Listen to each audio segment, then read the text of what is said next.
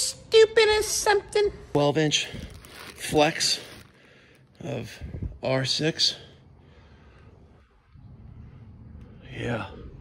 Let's take this five ton unit and make a piece of plenum out of duct board that feeds this 12 inch flex. 60,000 BTUs. You think they're smart enough to put the filter dryer inside? What do you want to bet? We don't need no stinking filter dryer.